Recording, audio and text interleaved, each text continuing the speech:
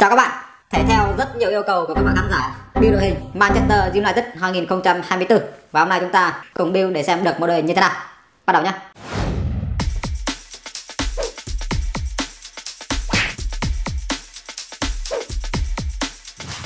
Rồi, và đây là con đảo trắng ban đầu của chúng ta. À, đã có sẵn gần 33.000 vàng và hơn 1.900 kim cương. Bạn nào mà cần cày chay vàng và kim cương đảm bảo uy tín và chất lượng thì có thể liên hệ mình nhé hay là nạp session pass nạp các gói vàng kim cương các gói promote ở trong game. Và đầu tiên chúng ta cần build đội hình, thì chúng ta phải nâng team tinh lên các bạn nhé sau khi đã có vàng và kim cương rồi, ở đây mình đang có mấy cái thẻ scout free trong live transfer chúng ta cùng mở luôn, xem có được cầu thủ nào ngon không nhá. Có được cầu thủ của MU luôn thì càng tốt. Không có gì. Tiếp tục, thẻ xanh. Cũng không có gì luôn. Tiếp tục, quả scout vàng. Vẫn chưa ra cầu thủ nào ngon thẻ cuối cùng, ra được một GK Ter Stegen của Barcelona. Để đấy, để tí nữa chúng ta mua nhá. Chúng ta mở luôn mấy cái thẻ argen đầu tiên chúng ta có Joe Gomez của Liverpool, các bạn ơi. Không phải của MU tiếp tục thẻ tiếp theo. Là một cầu thủ người Mỹ. Trời đất. Tiếp tục nào. Là Florian Thauvin còn hàng mới được thêm trở lại game chỉ số 73 thôi. Trước đó bản 21 thì là chỉ số 80 các bạn nhé và cuối cùng một GK Herrera của Tây Ban Nha. Chỉ số chỉ có 70 thôi. Nói chung là lần mở thẻ không được con nào ngon ngoài Jogomet nhưng mà chúng ta không cần. Quay lại mua Ter Stegen để nâng team rating lên các bạn nhé MU thì ờ, team rating tầm khoảng 68, 69, 70 gì đấy là có thể săn các cầu thủ của MU được rồi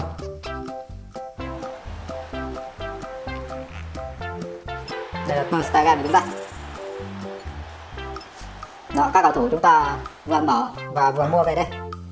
Tiếp đến là chúng ta vẫn tiếp tục phải scout để cho team rating tăng lên nhé rating của đội hiện giờ vẫn chưa đủ để tìm các cầu thủ MU một quả scout vàng, không có gì.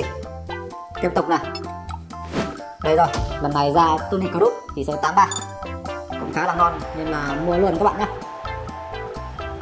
team rating của đội hiện giờ là 68 đã ok rồi các bạn ơi. Như vậy là chúng ta có thể đá bình thường rồi.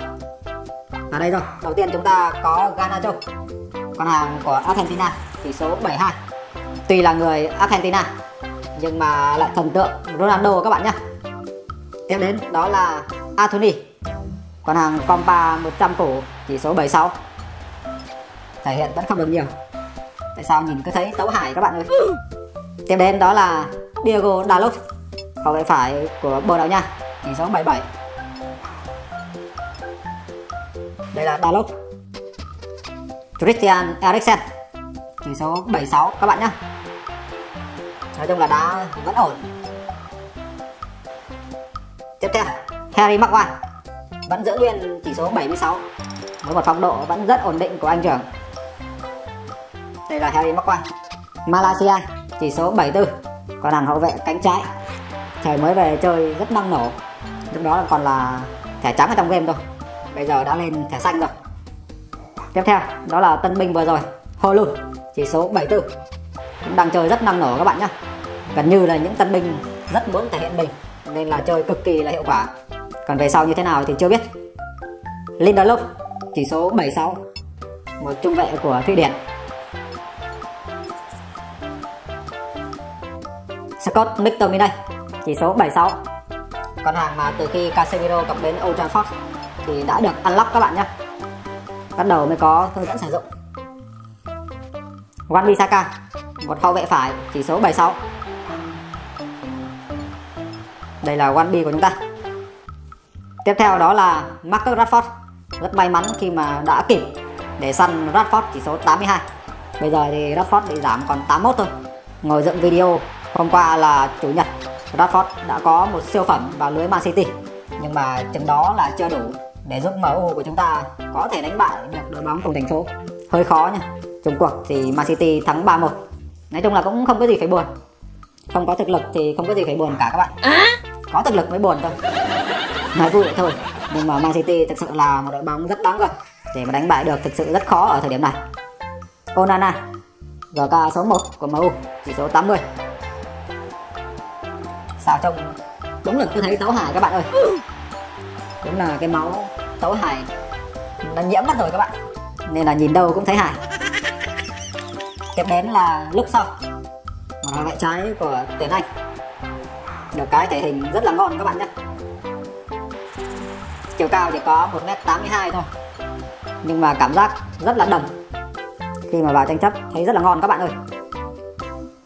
Tiếp đến đó là Rafael Varane một CB chỉ số 80 trước đó là 81 bây giờ MU cứ cầu thủ thẻ vàng là ngon rồi. Không bằng gì hơn.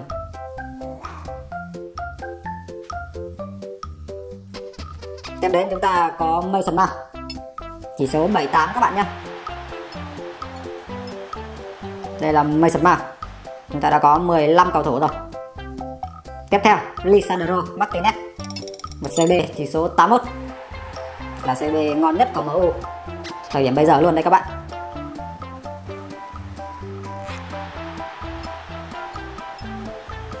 Thay cho anh trưởng đi.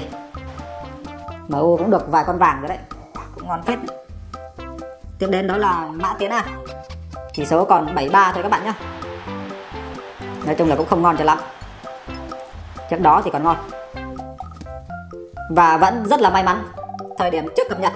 Mình vẫn kịp săn được Casemiro, chỉ số 82 thời điểm đó chỉ còn tính bằng giờ nữa thôi, là bắt buộc chúng ta phải cập nhật lên bản update, cập nhật chỉ số ở phiên bản mới. Thì à, Casemiro của chúng ta bị giảm còn 81 thôi các bạn. Nhưng rất may lúc đó mình đã tìm ra được Casemiro 82 sau đó mới yên tâm cập nhật lên bản mới các bạn nhé.